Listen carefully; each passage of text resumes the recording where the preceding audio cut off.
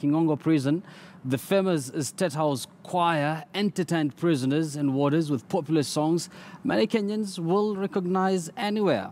Take a look.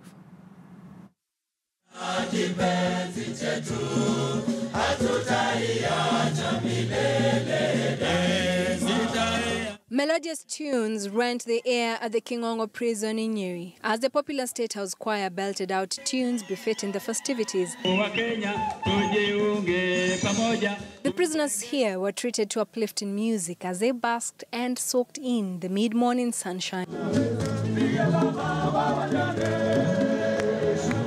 Prisoners from the three sections, Kingongo Maximum, Kingongo Medium and Kingongo Women had a welcome break from the monotonous prison life that is majorly characterized by routine.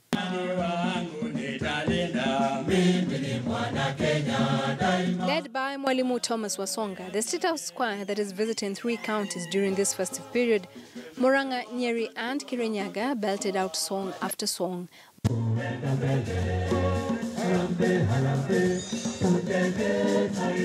Much to the delight of the guests of the state. 57-year-old Wilfred Mwangi Waithaka has been here in Kingongo for the last 18 years. Imprisoned at the age of 39 and living behind his family in Makuyu, Mwangi claims he's now a changed man and would like to caution young men against taking up crime.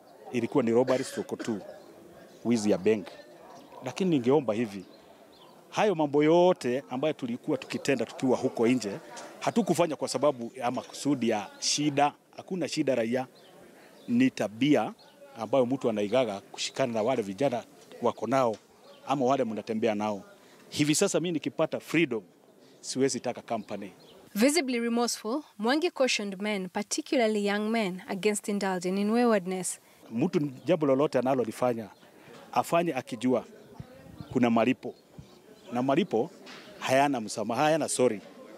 Wewe utaadhibiwa peke yako. 23-year-old James Masharia has been here at Kingongo Maximum Prison for the past three years, imprisoned at a young age.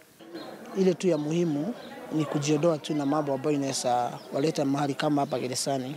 Si mahali pazuri, hata kaa tunakaa tunakaa juu tulileto na kuvumilia juu msimu kama huu wa Christmas ndio nilishikangwa mtu kama mimi na kesi yangu ilikuanga tu nikiwa bado shule high school, nikawa na uhusiano na msichana tulikuwa tunasoma na yeye na nikajipata mahali kama hapa. Assistant Commissioner of Prisons Peter Mwangi Kambo said small kind deeds such as visiting prisoners aided greatly in their journey of rehabilitation and self-discovery. Hii ni njia moja ya urekebishaji wanapoona ya kwamba wanaweza tumia taranta zao kuhakikishia Wakenya wenzetu ya kwamba they are not condemned, they are human beings. Makosa kama ilifanyika, labda ilifanyika bila kusudia. Huwa ikifika mwisho wa mwaka tunatembelea se, wanatembelea sehemu fulani ya nchi, na wakati huu tu, waliamua wakuje kwa counties ya Mount Kenya. With the prisoners saying that uh, yes, they did wrong, but they are here to change and assuring Kenyans that they are doing their best to become better citizens. Carol Nderi, KTN, at the Kingongo prison in Nyeri,